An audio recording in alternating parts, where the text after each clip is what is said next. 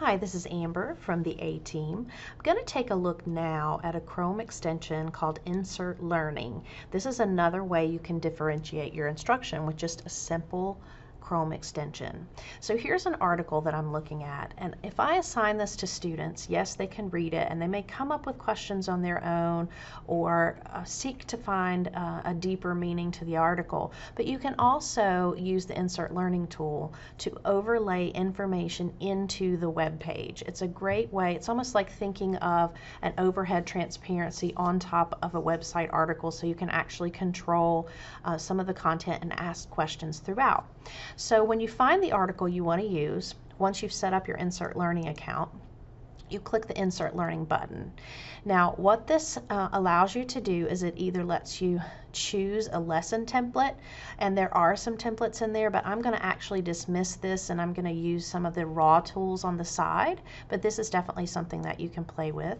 But I'm actually going to use the text highlighter, and so maybe there's something I want to make sure that they really pay attention to.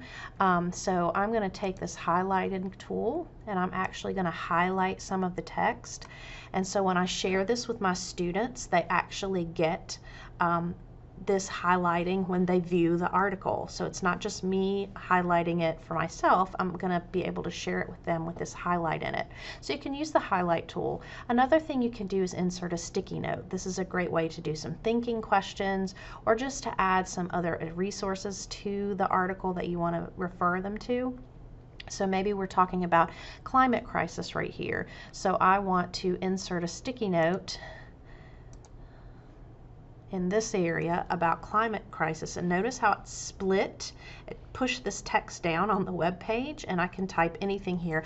Before I type I want you to notice that it tells me I can put images in here YouTube links um, embed code anything that I want to I can actually put into here. But I may just put you know think about um, how cli the climate crisis impacts you or whatever it is that you wanted to add. So this is just a little sticky note. The other thing that you can add is you can actually insert a question.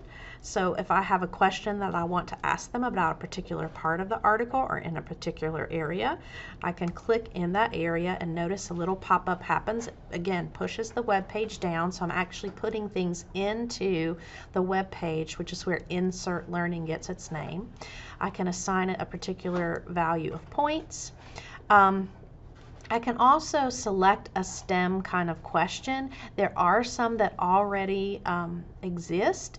I can use these or I can type my own. So uh, maybe I want to just go ahead and choose one of these. So uh, identify the main idea. And so when I'm ready, I can click create and that actually puts this in here.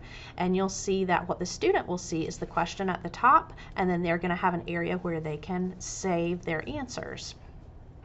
I also have the ability to insert a discussion. So maybe at the end of this, before we get to the wild salmon population, I want to go ahead and insert a discussion.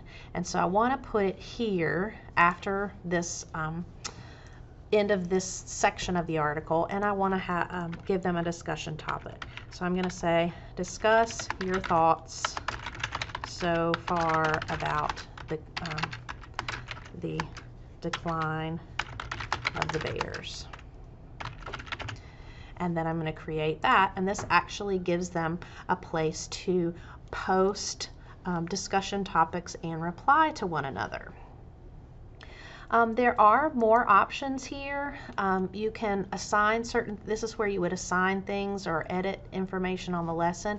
You can also view it as a student, which is the reason I clicked here because I want you to see what this is going to look like for the student that I assign it to. So I'm going to go ahead and say view as student.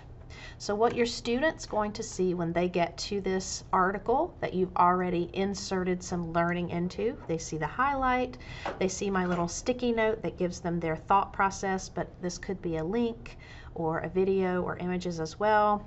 I have a place that I can uh, post my answer when I'm ready. I'm not actually going to post that. And then um, I have my discussion topic that I can also post. At the top, it tells me to resume my teacher view, and so now I'm back to teacher edit mode. So one of the things with InsertLearning that's really cool is that you can assign this to students. I want you to notice the Google Classroom button. So I can actually choose a class in Google Classroom and assign it this way. But I also can simply, if I don't have Google Classroom, I can also just provide them with a link so that they can um, have the ability to see the lesson. I do want you to notice that they have to have the InsertLearning Chrome extension on their device as well in order to see the things that you've inserted into the page. So once I find my um, Google Classroom here that I want to use, I can click assign and they're going to get notified of that lesson. So this is a great way to take a web page and extend the learning for the students, provide them with some scaffolds and supports if you'd like, and give them a way to actually interact with web content. Um, that's InsertLearning. Use it in your instruction to differentiate.